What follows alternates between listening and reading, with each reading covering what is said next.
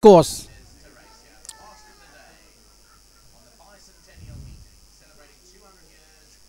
C'est parti pour la dernière course thé du Grand Prix du Champ de Mars. 1650 mètres à parcourir en tête de la course. Eh bien, nous avons pour l'instant Joyful à l'extérieur complètement. Il y a Skylink qui essaie de se placer. Il y a aussi Make My Grace. Sniper aussi est là.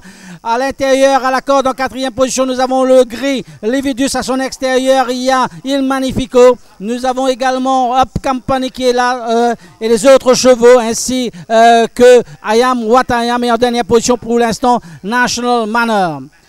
Les chevaux n'ont plus que 1100 mètres environ à parcourir en tête de la course. Joyful à son extérieur, Mick McGray courant plus à l'extérieur avec la toque rouge, Benedict Woodruff et Sniper. En quatrième position, eh bien, il y a le Skylink qui suit sagement avec Rajuro en ancel. Puis nous avons le, la toque rouge de Robbie Bog chez Il Magnifico. À l'intérieur, Lividus le gris.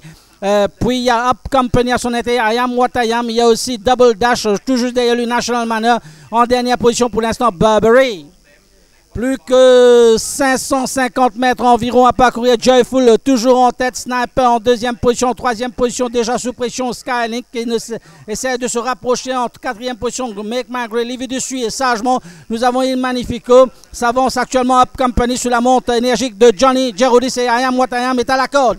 Les chevaux sont dans la ligne droite finale. Joyful toujours en tête à l'extérieur. Skynick. Skynick a pris le devant pour l'instant. Alors, est-ce qu'on va le rattraper? Skynick toujours en tête à l'extérieur. Attention, monte Up Company. Skynick toujours en tête. Up Company à l'extérieur. Il y a Ayam Watayam. Ayam Watayam va aller remporter cette course. Ayam Watayam gagne cette course.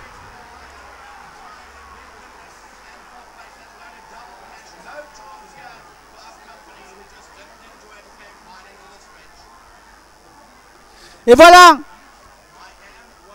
favori lors de ces dernières sorties, Ayam Watayam aujourd'hui, eh bien, était simplement un outsider sous la montre de Nourel Joglal.